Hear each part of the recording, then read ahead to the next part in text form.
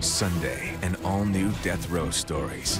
In 1985, 22 year old John Thompson was sentenced to death for murder in New Orleans. He had a criminal record, he was ID'd by witnesses, and he had the murder weapon. But before you convict Thompson, too, see what one investigator found that turned the entire case upside down. I knew that something was going on that was very unscrupulous and was deliberate. Death Row Stories, all new, Sunday night at 9 on CNN.